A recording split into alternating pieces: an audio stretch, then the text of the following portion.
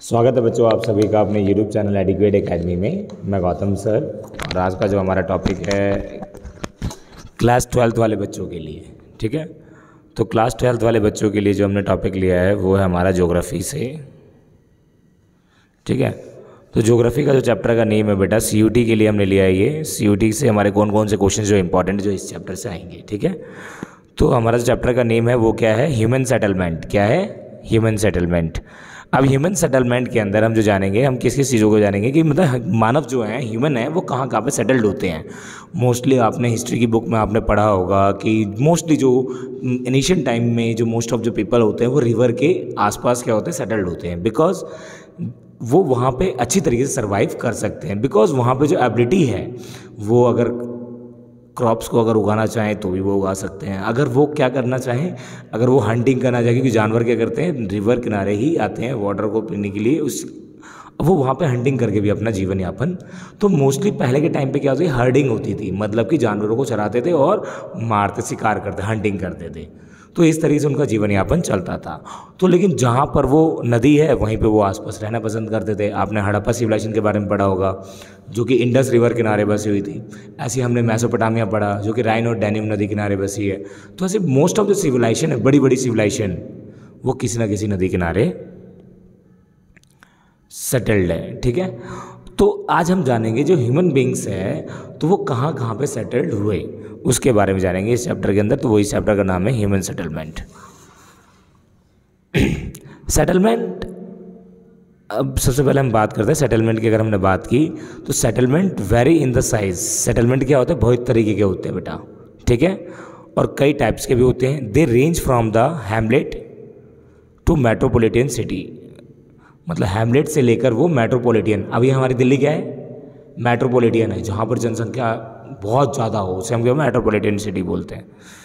With the size economic character social structure settlement change the pseudo ecology and technology settlement could be small sparsely and spaced they may be also the large and closely spaced largely भी हो सकता है closely भी हो सकता है। अब आते हैं इस सेटलमेंट के अंदर। The rural settlement is drift their life support of the basic economic तो जो रूरल की जो है रूरल के अंदर जो मोस्टली सेटल करते हैं लोग, जो उनकी जो इकॉनमिक है, वो बहुत ही ज़्यादा क्या है economic needs from the land based primary activity तो मोस्टली जो लोग रूरल में रह रहे हैं, गाँव में रह रहे हैं तो उनका मेन जो इकोनॉमिक एक्टिविटी किस पे डिपेंड है? प्राइमरी इकोनॉमिक एक्टिविटी प्राइमरी तुम्हें पता ही एग्रीकल्चर तो मोस्ट ऑफ़ जो विलेज में जितने भी जो लोग हैं, वो क्या करते हैं बेटा? प्राइमरी तो याद रखना कि अगर वो आ जाए रूरल सेटलमेंट के अंदर तो वो क्या, कौन सी एक्टिविटी में इंगेज होते हैं? Mostly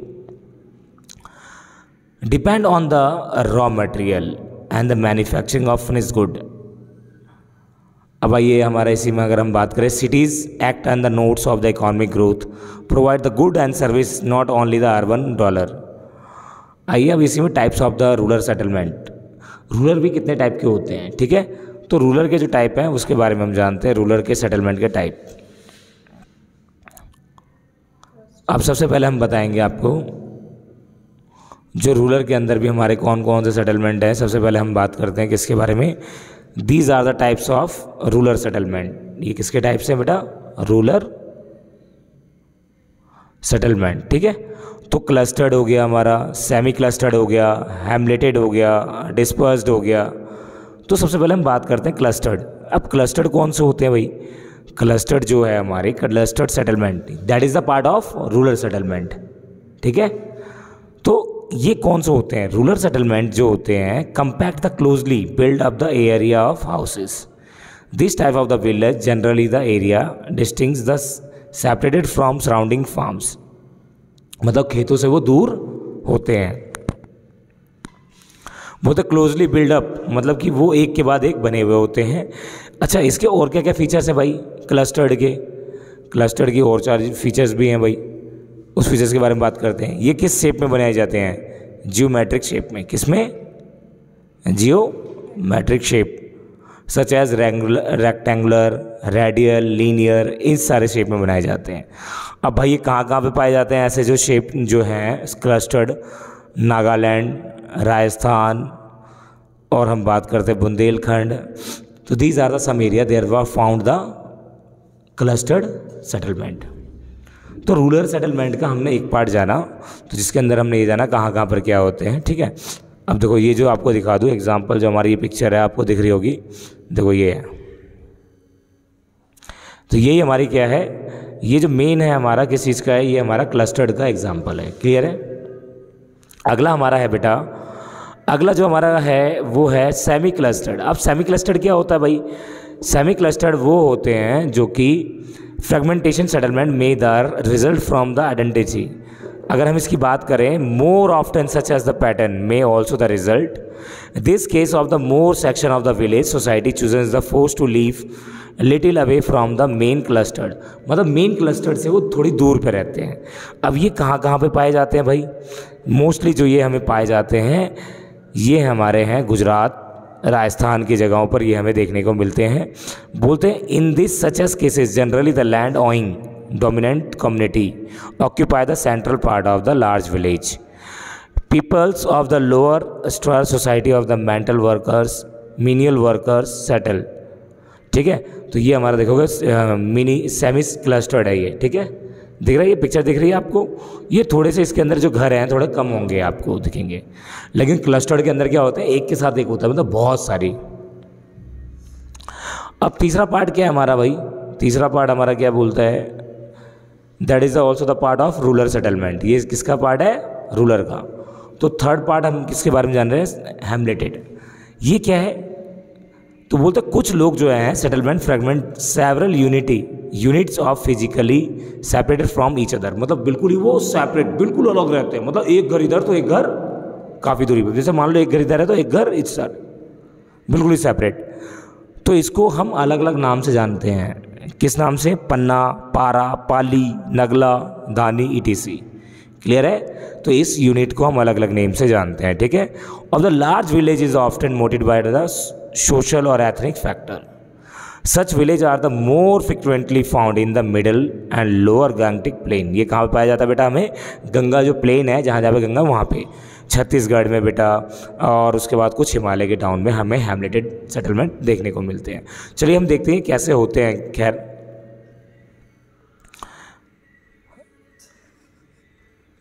जैसे ये आपको दिख रहा है, ये वाला पार्ट आपको, ठीक है? इसी का पार्ट होता है हमारा हेमलेटेड होता है मतलब दूरी दूरी पे बनाई जाती है, ठीक है? तो ये क्लियर हो गया हमारा। अब आते हैं हम चौथे पार्ट की हम बात करते हैं। चौथा पार्ट हमारा कौन सा है? डिस्पर्स्ड सेटलमेंट हाँ। हाँ तो इससे थोड़ा सा कम होता है बेटा। इधर दूरी पे ना? ये तो देवी में तुम्हें देखने को मिलेगा। अब देखो हमारा फोर्थ कौन सा है? अभी हमने पहला जाना कौन? क्लस्टर्ड फिर सेमी क्लस्टर्ड जाना। फिर हमने कौन जाना? हेमलेटेड और उसका तीसरा हमारा, चौथा कौन सा हमारा? डिस्पर्स सेटलमेंट डिस्पर्स और आइसोलेट भी बोलते हैं इसे हम। आइसोलेट क्यों बोलते हैं? क्योंकि ये क्या था बहुत दूरी दूरी पे होता है। आपने देखा हो ना, जब कोरोना हुआ तो कोरोना में क्या बोले थे भाई? आइसोलेशन पे रहो। आइसोलेशन का मतलब क्या है? दूरी दूरी बना के रखो। तो भाई ये घर ऐसे हैं जो कि क्या होते हैं? बहुत दूरी दूरी पे बनाए जाते हैं।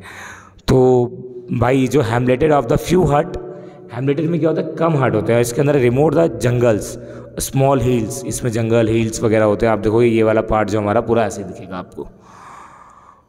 इसके अंदर क्या है? Extreme dispersion of the settlement cause by the fragmentation nature trade ये हमें ज़्यादातर कहाँ देखने को मिलेगा बेटा? Meghalaya, Uttarakhand, Himachal, Kerala. Deep side of the settlement हमें डिस्पर्ज मिलते हैं। तो अभी तक हमने जाना किसके बारे में? तो अब मुझे ये बताइए क्वेश्चन है आपका आप सभी का। क्वेश्चन क्या है? Nagla pali. This settlement is also known as hamleted settlement बोलते हैं उसे। ठीक है मैंने करवाया अभी। ठीक है? अच्छा which settlement of the shape rectangular ठीक है? तो इस तरीके से। अब now come to the point जिस तरीके से रूरल को डिवाइड कर दिया गया अलग अलग सेटलमेंट में, ठीक उस प्रकार से अगर हम बात करते हैं किसके बारे में अर्बन सेटलमेंट अर्बन सेटलमेंट क्या है भाई? Unlike the rural settlement urban settlement are the generally compact larger size क्या है इसका साइज़ बहुत बड़ा है। They are engage in the variety of non agriculture मतलब लेकिन इसके अंदर क्या है? नॉन एग्रीकल्चर एक्टिविटी होती है। ठीक है? जैसे कि एक्सचेंज ऑफ़ गुड्स ठीक है? ये सारी चीज़ें होंगी हमारी। अब आ जाओ, सबसे पहले हम बात करते हैं fundamental of the human geography के अंदर हमारी दिया गया है evolution of towns in the India अब क्या कहते हैं? इन इवेल्यूशन मतलब टाउन्स कब बनना शुरू हुए? मतलब वो टाइम पीरियड जिस टाइम पे यूरोपियन इंडिया में आए एटीन सेंचुरी में on this basis of the year of the period Indian towns were the classified Indian towns को कितने पार्ट में डिवाइड कर दिया गया? नंबर वन इनिशियन टाउन क्या बोला गया? एनिशियंट सबसे पहला। फिर मिड्यूल टाउन बोला गया, जो जो कि बीच वाले टाइम पीरियड और मॉडर्न जो अभी के टाइम पीरियड में, ठीक है? तो अर्बन सेटलमेंट को तीन पार्ट में डिवाइड कर दिया गया है। इनिशियंट मिड्यूल और एक हमारा मॉडर्न तो चलिए हम जानते हैं, सबसे पहले इनिशियंट को जानते हैं, ठीक है? अब इनिशियंट क्या है हमारे? इनिशियंट टाउन कौन से हैं? The number of town in the India having the historical background उससे क्या रहे हैं सारे? हिस्टोरिकल बैकग्राउंड रहे हैं। जैसे आपने पढ़ा होगा पाटलिपुत्र। बढ़ाया था। मौर्य की, जो मौर्य की क्या है ये? राजधानी है। ठीक है? पाटलिपुत्र जिससे प्रेजेंट टाइम में क्या बोलते हैं? पटना बोलते हैं। प्रयाग, प्रयागराज। अभी आपने सुना होगा यूपी में जो इलाहाबाद का नाम चेंज करके क्या रख दिया गया है? प्रयागराज। किसने रखा? योगी जी ने। तो ये पहले प्राचीन इनिशियन टाइम का नाम है। इसीलिए उन्होंने उसी के नाम पे रख दिया है। ठीक है?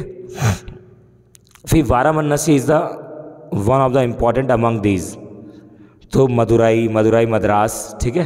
तो ये कुछ क्या है? इनिशियन इनिशियन टाउन्स हैं बेटा, ठीक है?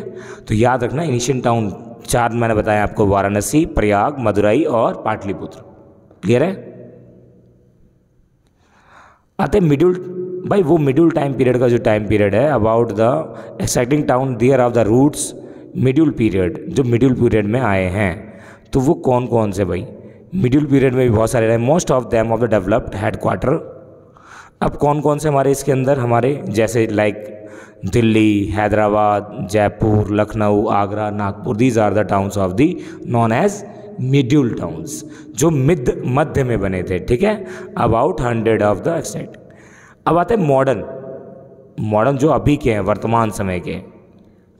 British and other European have the developed number of towns मतलब उन्होंने बहुत सारे टाउन्स क्या किए? डेवलप्ड किए. Starting of the foot hold coastal location first developed some of the trading कुछ ट्रेडिंग की वजह से हुए. जैसे सूरत, दमन, गोवा, पौडुचेरी ईटीसी जिसकी ये किसकी वजह से हुए? ओनली याद रखना ट्रेडिंग पर्पज से इसको बनाया गया. इसका नाम दिया गया. British later consolidated the Mumbai Madras Kolkata ठीक है? अर्बन सेटलमेंट क्लियर है हमने तीन चीज़ें पढ़ी इनिशियंट हमने पढ़ा पहले इनिशियंट फिर मिड्यूल और फिर मॉडर्न ठीक है? क्लियर है ये? तो ये हमारा किसका एग्ज़ाम्पल है? A view of the modern city देखो, ये है मॉडर्न सिटी देखो, जगह वगह बनी हुई है एकदम बेस्ट अब आ जाइए हमारा। आफ्टर द इंडिपेंडेंस अब सुनो। इंडिपेंडेंट के बाद क्या हुआ? Jamshedpur can cities of the example बोलते हैं after the independent large number of towns have been the developed बहुत सारे क्या हो गए? डेवलप्ड हुए। अब कौन कौन से, जैसे चंडीगढ़ हो गया, भुवनेश्वर हो गया, गांधीनगर हो गया, दीसपुर हो गया, ठीक है, भिलाई हो गया, ये सारी चीज़ें, गाज़ियाबाद। तो ये सारे कुछ नए क्या हैं? टाउन्स डेवलप्ड होकर आए। कब? इंडिपेंडेंस के बाद। अब सुनिए, इसी में हमारा क्या है? अर्बनाइजेशन इन इंडिया अर्बनाइजेशन अगर हम इंडिया की बात करें, कितनी पॉपुलेशन कहाँ कहाँ पर, कैसे कैसे रह रही है तो उसके बारे में हमारा दिया गया है, ठीक है? कौन कौन सी पॉपुलेशन अगर हम बात करते हैं लेवल ऑफ़ द अर्बनाइजेशन 2011 के according 31.16 percent which is the quite low of the comparison developed country total urban population has the increase धीरे धीरे बढ़े हैं। और यही चीज़ दिखा रही है किस तरीके से धीरे धीरे बहुत सारी चीज़ें क्या हुई है? अर्बनाइजेशन मतलब कि अर्बन की ओर बदलता चला गया क्योंकि वहाँ पर फैक्ट्री लगी, बहुत सारी फैसिलिटीज़ आई, जिसकी वजह से। अब अगर हम बात करते हैं इसी में population size classification of towns मतलब क्लासिफाइड कर दिया गया टाउन्स को उसकी पॉपुलेशन के अकॉर्डिंग तो भाई तुम्हें पता है जितनी भी जो मेगा सिटी है, वो सारी क्या है मोस्ट पॉपुलेटेड एरियाज़ है, ठीक है? अब आ जाओ हमारा मेन फंक्शनल अगर हम बात करें फंक्शनल की, ठीक है? बहुत ही इंपॉर्टेंट पार्ट है, आता है ये हमारा। अब स्टेट टाउन्स को उसके फ़ंक्शन के अकॉर्डिंग भी जाना जाता है, ठीक है? जैसे मान लो सपोज़ अगर हम बात करें, अगर कोई तीर्थ यात्री जाएगा तो वो कहाँ जाता है? मथुरा। ये मथुरा में क्या है? सारे आस्था का वो है। ये हो गया। ऐसे अगर हम बात करें ट्रेडिंग का टाउन अलग होगा लॉ का अलग होगा, ठीक है? हर किसी का अलग है। तो उसके फ़ंक्शन के अकॉर्डिंग उसको डिवाइड कर दिया गया अगर हम बात करें, देखो यहाँ पर आप देखोगे तो सबसे पहले हम बात करते हैं किसकी? एडमिनिस्ट्रेटिव एडमिनिस्ट्रेटिव क्या होता है? जहाँ से कानून बनाए जाते हैं। तो वो कौन सी जगह है? तुम्हें पता है न्यू दिल्ली है चंडीगढ़ है इम्फाल इन सभी जगहों पर कानून एडमिनिस्ट्रेटिव टाउन्स है। इंडस्ट्रियल जहाँ पर सबसे ज़्यादा फैक्ट्री है, वो कौन सा है हमारा? सच एस सलेम मुंबई और कॉम्बरटूर मोदी नगर जमशेदपुर हुगली भिलई ये सारे क्या हैं? जहाँ पे इंडस्ट्रियल सेक्टर सबसे ज़्यादा हैं।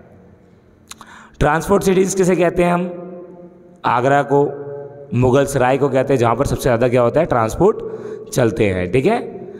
फिर हमारी बात है कमर्शियल टाउन जहाँ पर सबसे ज़्यादा कमर्शियल का काम होता है, कोलकाता।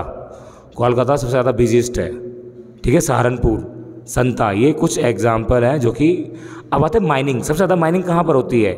तुमने देखा होगा झारखंड, डिगबोई, रानीगंज, झरिया झरिया ही झारखंड में है, ठीक है? अलंकेश्वर, सिंगरूली, ये सारे क्या हैं? इन सभी जगहों पर सबसे ज़्यादा क्या होता है? माइनिंग ये माइनिंग टाउन्स क्लियर है? तो इस तरीके से उसको डिवाइड कर दिया गया है। अब हम बात करते हैं इसमें नेक्स्ट सबसे इंपॉर्टेंट चीज़, अब एजुकेशन टूर एजुकेशन किसे कहते हैं टाउन्स जो वाराणसी में होती है, रुड़की में होती है। रुड़की सबसे पहले अंग्रेज़ों को द्वारा लगाई गई थी आईआईटी आईआईटी पता है ना?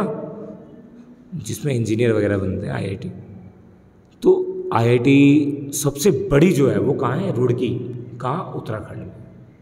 सबसे पहली जगह तो एजुकेशन सेंटर किसे कहते हैं? रुड़की, वाराणसी। वाराणसी में क्या है? तुम्हें तो पता है ना B H U Banaras Sindh university जो हिंदुओं द्वारा बनाई गई थी। अलीगढ़। अलीगढ़ भी यूनिवर्सिटी है, ठीक है?